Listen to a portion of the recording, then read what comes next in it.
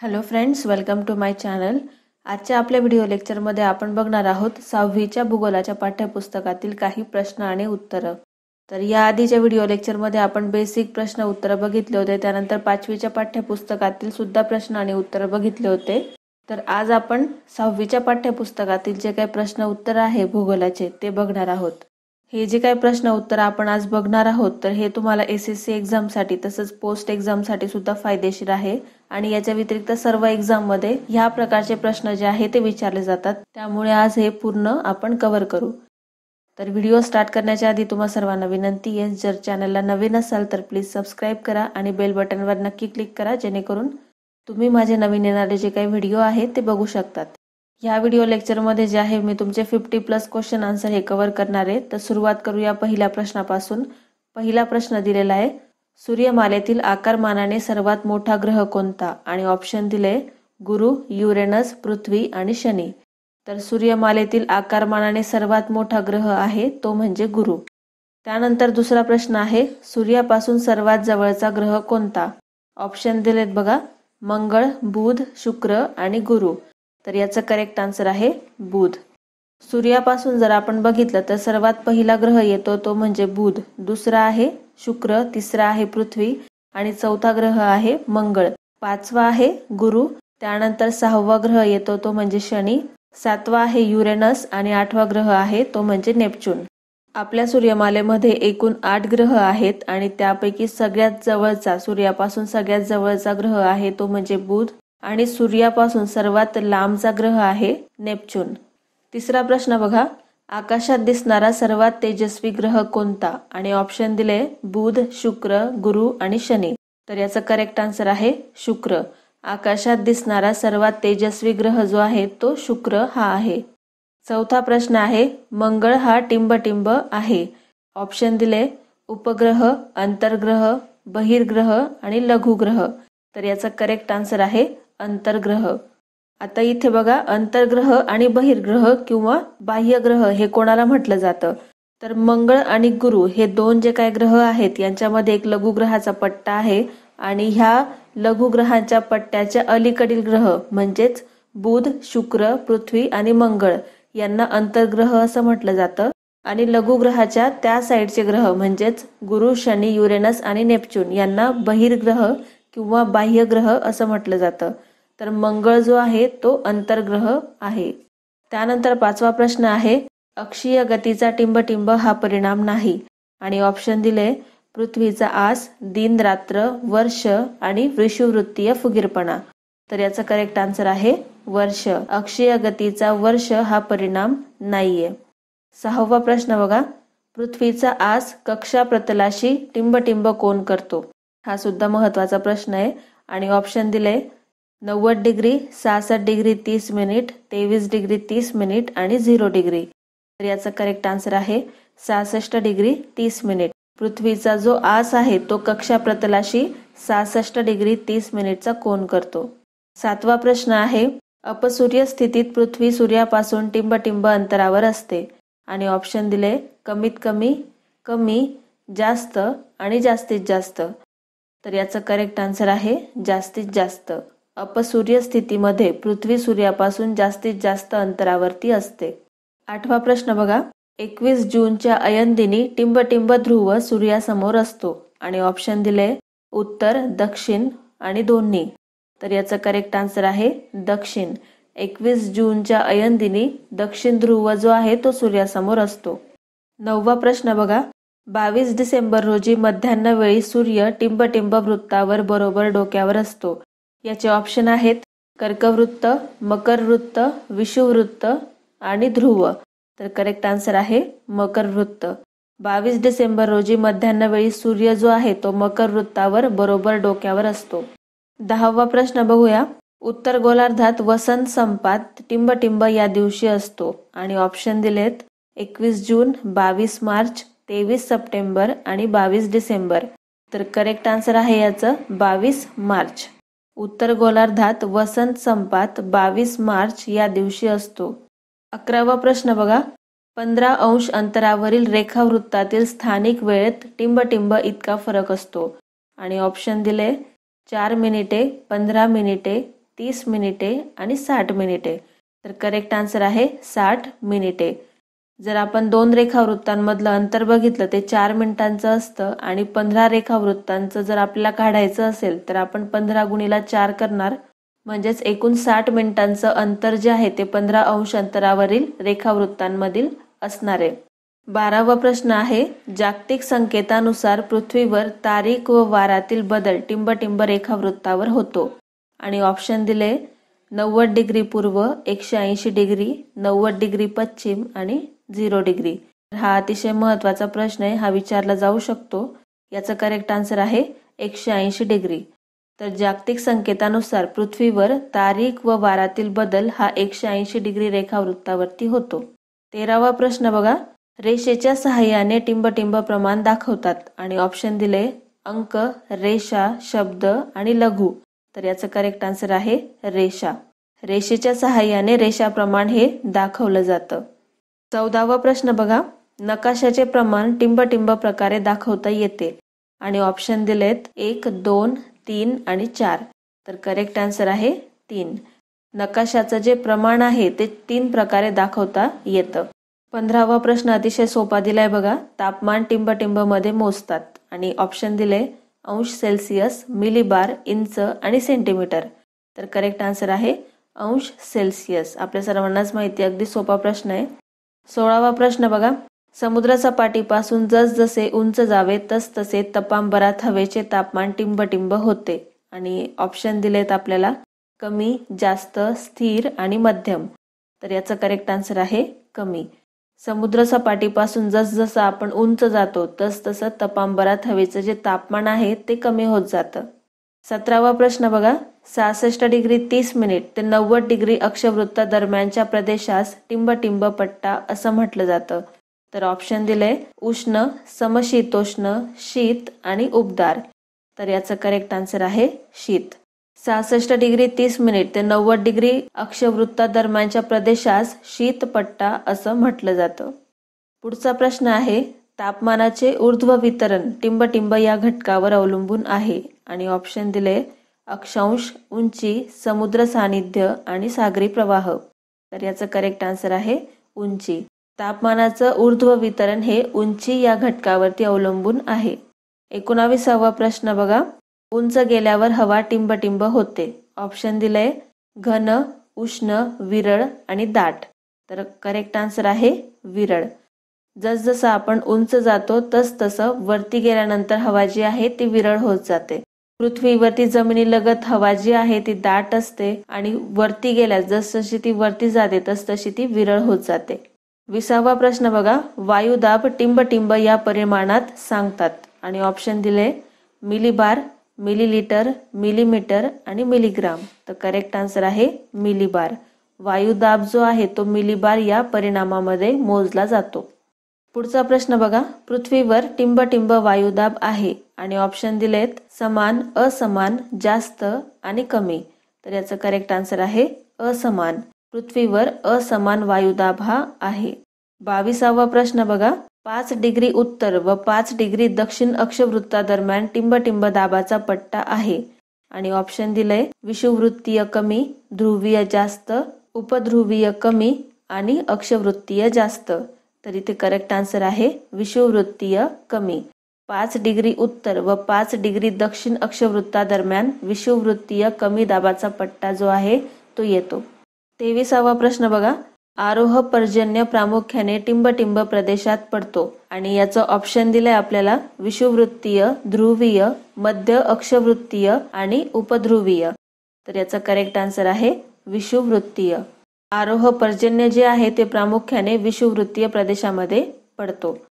चोवीसावा प्रश्न आहे बाष्पयुक्त वाऱ्यांच्या मार्गात अडथळा निर्माण होऊन टिंबटिंब प्रकारचा पाऊस पडतो आणि ऑप्शन दिले प्रतिरोध आवर्त अवरोह आणि आरोह. तर करेक्ट आन्सर आहे प्रतिरोध. बाष्पयुक्त वाऱ्यांच्या मार्गामध्ये जर अडथळा निर्माण झाला तर प्रतिरोध प्रकारचा पाऊस हा पडतो. पुढचा प्रश्न आहे बघा मध्य आफ्रिकेचा भाग टिंबटिंब पर्जन्य प्रदेशात येतो आणि ऑप्शन दिलेत कमी मध्यम जास्त आणि सर्वात जास्त. तर याचा करेक्ट आन्सर आहे जास्त.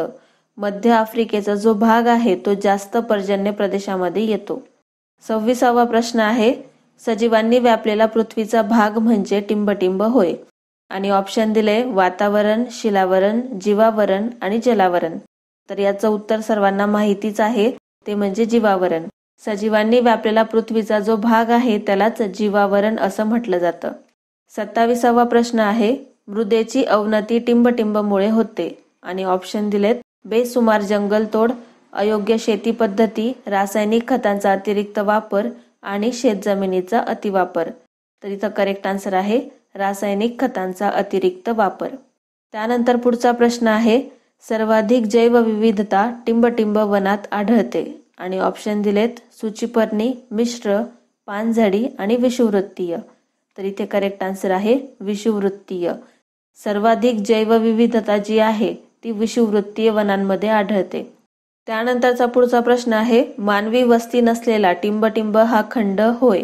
आणि ऑप्शन दिले आफ्रिका अंटार्क्टिका आशिया आणि युरोप. तर याचं सुद्धा उत्तर सर्वांना माहितीच असणार आहे तर ते आहे अंटार्क्टिका. अंटार्क्टिका इथं जे टेम्परेचर आहे ते मायनसमध्ये असतं आणि तिथे कोणीही राहू शकत नाही. तिथे सगळीकडे फक्त बर्फ आहे आणि त्यामुळे मानवी वस्ती नसलेला खंड कोणता आहे तर अंटार्क्टिका हा आहे. तिसावा प्रश्न दिलाय दक्षिण गोलार्धात टिंबटिंब महासागराचा भाग येत नाही. आणि ऑप्शन दिलेत अटलांटिक हिंदी पॅसिफिक आणि आर्कटिक. आर्कटिक महासागर जो आहे तो दक्षिण गोलार्धाचा भाग नाहीये. त्यानंतरचा पुढचा प्रश्न आहे बघा. भारतीय उपखंडाच्या दक्षिणेस टिंबटिंब महासागर आहे. आणि ऑप्शन दिलेत अटलांटिक हिंदी पॅसिफिक आणि आर्कटिक तर याचं उत्तरही सर्वांना माहितीच आहे की भारतीय उपखंडाच्या दक्षिणेस हिंदी महासागर हा आहे. त्यानंतर पुढचा प्रश्न हे अतिशय सोपा आहे. जगात टिंबटिंब हे सर्वात मोठे खंड आहे. आणि ऑप्शन दिलेत आफ्रिका आशिया युरोप आणि ऑस्ट्रेलिया. आणि इथे करेक्ट आन्सर आहे आशिया.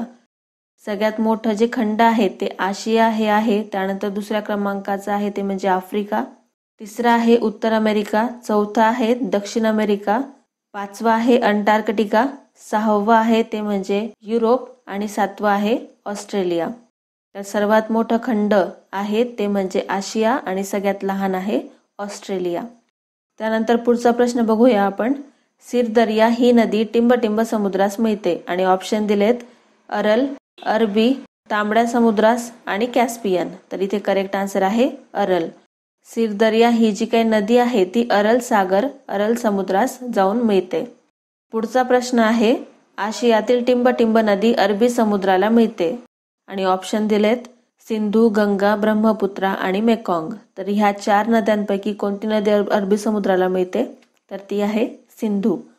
त्यानंतरचा पुढचा प्रश्न दिलाय कामचाटका हे एक टिंबटिंब आहे. आणि ऑप्शन दिले वाळवंट बेट द्वीपकल्प आणि पठार. तर सर्वांनी नाव ऐकलंच आहे तर हे काय एक द्वीपकल्प आहे.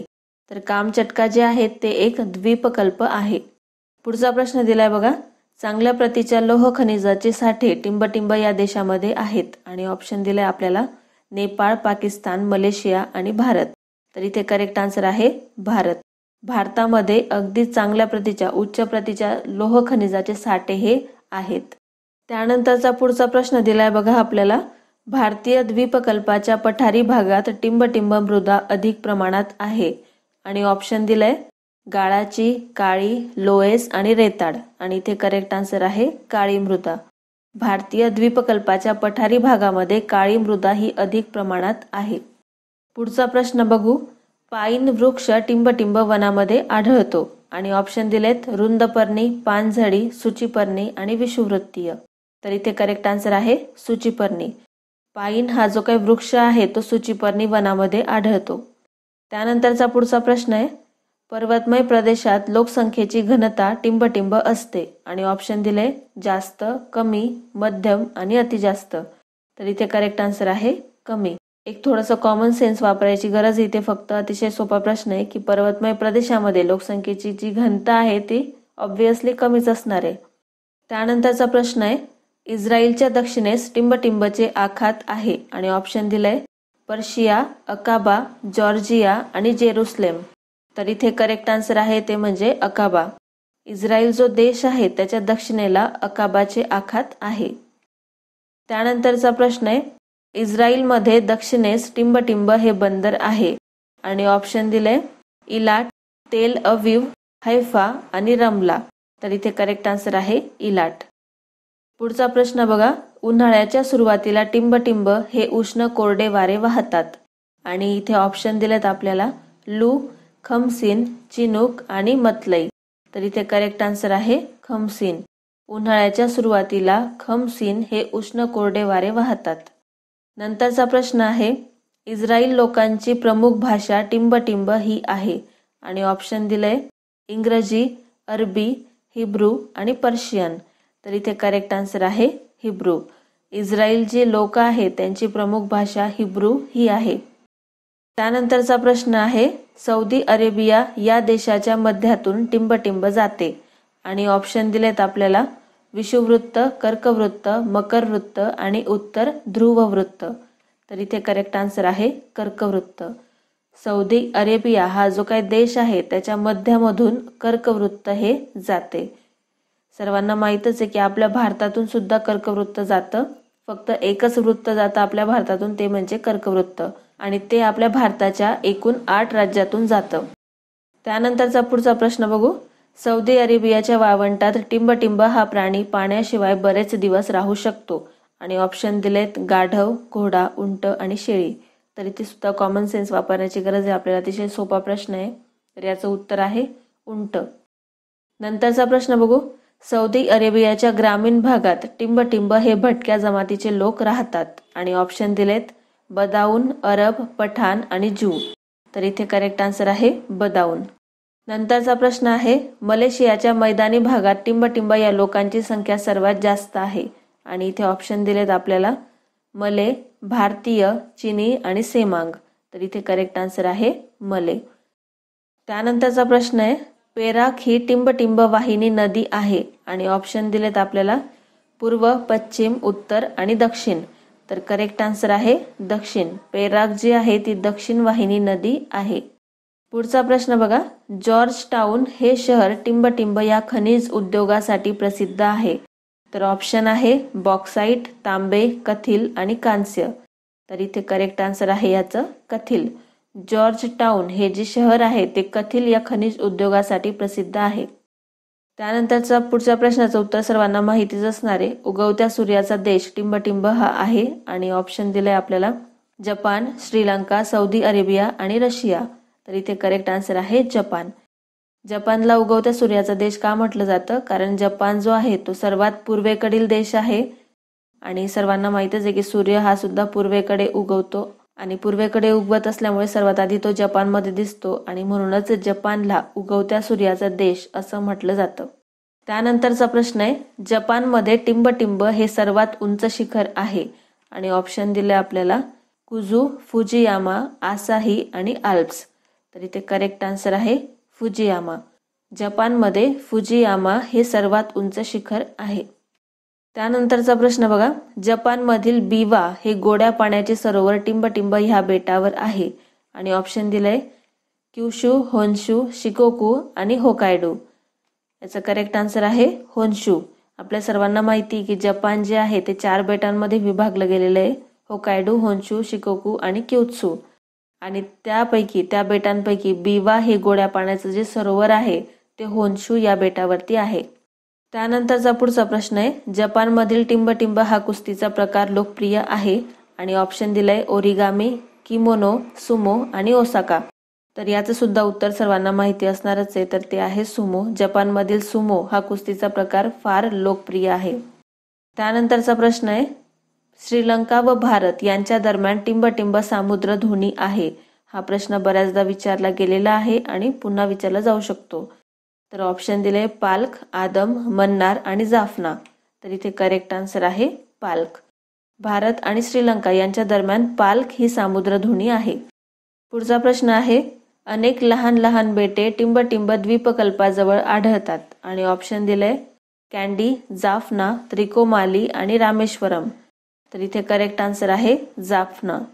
पुढचा प्रश्न बघा श्रीलंकेच्या टिंबटिंब भागात मोत्यांचे शिंपले आढळतात. आणि ऑप्शन बघा. कोलंबो तलाई मन्नार आणि पालक.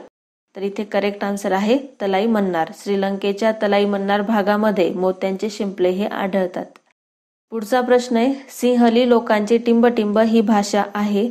आणि ऑप्शन दिले तामिळ सिंहाला संस्कृत आणि वैद्य. तर इथे करेक्ट आन्सर आहे सिंहाला. सिंहली लोकांची सिंहाला ही भाषा आहे. तर इथे आपण आज एवढे फिफ्टी सेवन क्वेश्चन जे आहे ते कव्हर करण्याचा प्रयत्न केलेला आहे. तर हे प्रश्न तुम्हाला पोस्ट एक्झाममध्ये किंवा एस एस सीमध्ये नक्की विचारले जाऊ शकतात. तर व्हिडिओ आवडला असेल तर प्लीज लाईक करा. काही शंका असेल तर कमेंट तुम्ही करू शकतात आणि आपल्या फ्रेंडसोबत शेअर करायला विसरू नका. तसंच जर चॅनलला नवीन असाल तर प्लीज सबस्क्राईब करा आणि बेल बटनवर नक्की क्लिक करा जेणेकरून मी जेव्हाही नवीन व्हिडिओ अपलोड करेल त्याचं नोटिफिकेशन तुम्हाला मिळत राहील. धन्यवाद.